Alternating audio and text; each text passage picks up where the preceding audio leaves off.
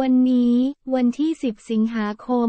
66 นางสาวรัติยาอารุณศรีหรือเนสกาแฟศรีนครนักร้องเพลงลูกทุ่งชื่อดัง เดินทางมาที่กองบัญชาการตำรวจสืบสวนสอบสวนอาชญากรรมทางเทคโนโลยี บชสอท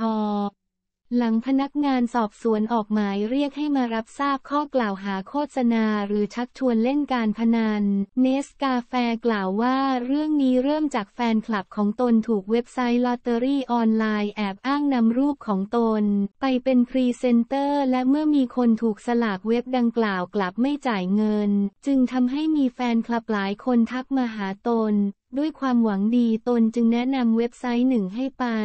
ซึ่งเป็นเว็บไซต์ที่ตนเล่นมานาน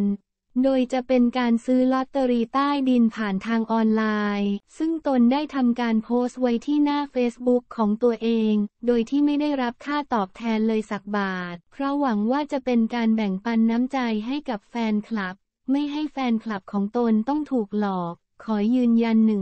100%ว่าตนไม่เคยยุ่งเกี่ยวกับการโปรโมทเว็บพนันออนไลน์ และเมื่อเช้าตนไม่ได้หนีสื่อเพียง แต่ที่มาช้าเป็นเพราะว่าตนเพิ่งตื่น ส่วนเรื่องที่ตนเคยออกมาชี้แจงมี Facebook ปลอมทำการโปรโมทเว็บพนันออนไลน์ ตนได้ไปแจ้งความไว้ตั้งแต่เดือนพฤษภาคมแล้ว แต่คดียังคงไม่มีความคืบหน้า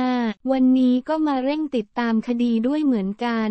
ด้านพลตำรวจตรีอำนาจไตรพจน์รองผู้บัญชาการตำรวจสืบสวนสอบสวนอาชญากรรมทางเทคโนโลยี กล่าวว่า ถึงแม้ว่าเนสกาแฟจะให้การว่าเป็นการโปรโมทลอตเตอรี่ใต้ดินออนไลน์ ไม่ได้โปรโมทเว็บพนันออนไลน์ แต่ก็ถือว่าเข้าข่ายกระทำความผิด เป็นผู้สนับสนุนโฆษณาหรือชักชวนให้มีการเล่นพนันออนไลน์ เพราะในปัจจุบันลอตเตอรี่ใต้ดินออนไลน์ ยังเป็นสิ่งที่ผิดกฎหมาย โดยในวันพรุ่งนี้จะนำตัวไปส่งฟ้องที่ศาลจังหวัดนนทบุรี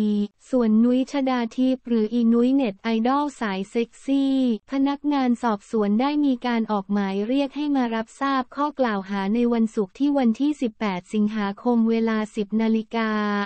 เนื่องจากวันนี้นุ้ยติดต่อกลับมาว่าติดภารกิจส่วนตัว